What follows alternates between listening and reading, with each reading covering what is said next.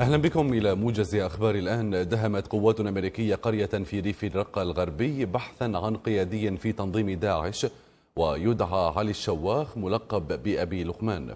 يأتي هذا في وقت أعلنت فيه قوات سوريا الديمقراطية عن قتل 15 مسلحا من داعش في اشتباكات جنوب الرقة مشيرة في الوقت ذاته إلى أنها تمكنت من فتح معبر إنساني آمن في حي نزلة شحادة جنوب مدينة الرقة.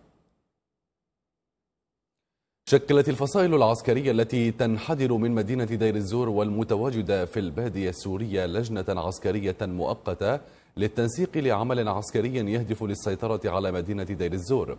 يأتي هذا عقب التقدم الكبير الذي أحرزته قوات النظام مدعومة بميليشيات أجنبية في, ريفي, في ريفي دير الزور الغربي والجنوبي فضلا عن تقدمها في محيط مدينة السخنة في البادية السورية. قام تنظيم داعش الإرهابي في العراق بعملية تهجير واسعة لأهالي مدينة تل عفر غرب نينوى. وقال مصدر في الشرطة العراقية إن داعش بدأ بتهجير السكان في أطراف ناحية العياضية إلى داخل الناحية ليتحصن بهم قبل انطلاق عملية التحرير المنتظرة. قتل 31 فردا من الحوثيين وأصيب أكثر من 45 آخرين بجروح إثر قصف لمقاتلات التحالف العربي في محافظة حجة شمال غربي صنعاء. وأوضح الجيش اليمني أن الضربات الجوية استهدفت مخازن أسلحة ومدافع ثقيلة وآليات إضافة إلى تدمير عربة تقل عتادا. أكد الرئيس الإيراني حسن روحاني أن بلاده لن تكون الأولى في عدم الالتزام بالاتفاق النووي الموقع مع قوى الغرب.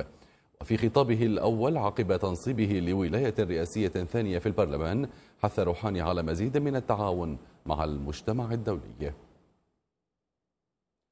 يصوت مجلس الأمن الدولي على مشروع قرار قدمته الولايات المتحدة ويقضي بحرمان كوريا الشمالية من مليار دولار من عائدات صادراتها لمعاقبة برنامجيها النووي والبالستي. ويأمل الأمريكيون بأن لا يصطدم القرار بفيتو صيني أو روسي. ويهدف القرار الجديد إلى دفع بيونغ يانغ إلى التفاوض بعد إطلاقها صاروخين بالستيين الشهر الماضي. استبعد الألماني يورجن كلوب المدير الفني لليفربول. استبعد البرازيلي فيليبي كوتينيو من رحلة الريدز إلى إسبانيا لمواجهة أتلتيك بلباو وديا. وأوضحت صحيفة ميرور البريطانية أن استبعاد كوتينيو من رحلة إسبانيا قد يكون خطوة للاعب لمتابعة المفاوضات مع مسؤولي برشلونة.